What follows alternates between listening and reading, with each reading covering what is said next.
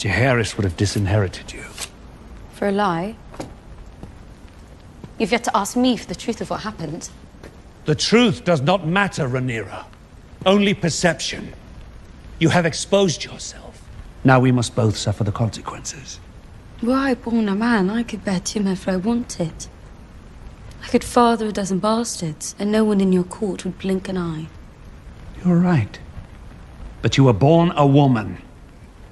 So you'll strip me of my titles and name Aegon in my stead. I would. But it is mine to hold the realm together, not sow it with further division. Your courtship is at an end. You will wed Selene Selena Velaryon, and you will do so without protest. The son of the sea snake. So I can be a remedy for your political headaches. You are my political headache.